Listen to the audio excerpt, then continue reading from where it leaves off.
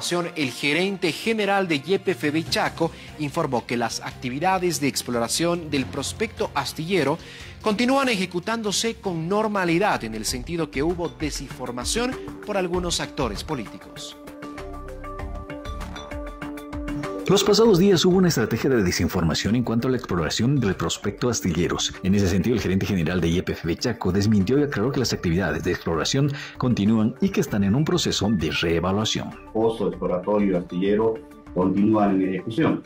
Este pozo eh, es importante mencionar de que tenía un objetivo de eh, Guamampampa y Santa Rosa con profundidades en el orden de los 6.200 metros. Estos dos eh, objetivos que tenían se los ha encontrado en una profundidad menor a la estimada, por lo cual actualmente nos encontramos en un proceso de, reevaluación utilizando la información que se ha podido obtener. Asimismo, el gerente resaltó que no se comprometerá el cumplimiento de las operaciones en el área de Astillero y Churumas, ni mucho menos la relación con las comunidades aledañas y cuidado del medio ambiente. Por otra parte, enfatizó que al igual que Astilleros, las actividades en el pozo aledaño Churumas continúan. Y de Chaco de ninguna forma va a salir del área. Eh, no solamente en Astillero, que tiene gran potencial, sino también en el área de Churumas, que es un campo ya confirmado con producción y que actualmente se está trabajando, como le decía, en los tres proyectos, que son un proyecto de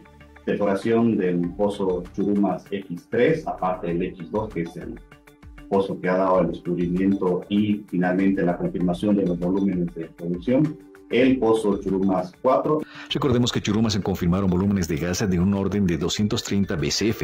Actualmente se encuentra en etapa de diseño para la ejecución de la perforación de por lo menos dos pozos delineadores de yacimientos, Churuma X3 y Churuma X4.